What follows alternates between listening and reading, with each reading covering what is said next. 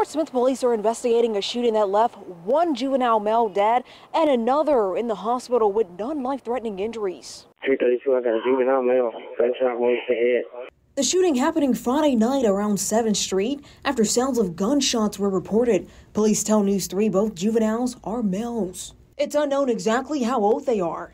The president of the Craddock Civic League says their organization will be addressing city council in next week's meeting about recent crime in the city. We'll also be pushing for a return to community policing, uh, where you have precincts or offices for police officers uh, within different communities around Portsmouth. The group calling for new technology to be implemented. We're also going to be pushing council to look for technological solutions like Shot Spotter, uh, which has actually been implemented in other localities. He says the Civic League will be addressing crime happening specifically in Afton Square. So, for about four or five months, actually, uh, we had relative calm in Craddock, and we were working very diligently with the city manager addressing criminal blight properties um, and had very good success in addressing those.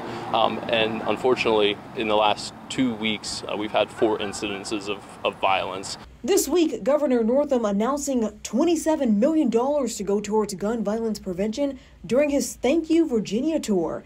Funding will create the Center for Firearm Violence Intervention and Prevention at the Department of Criminal Justice Services. In Portsmouth, Leandra Head, News 3.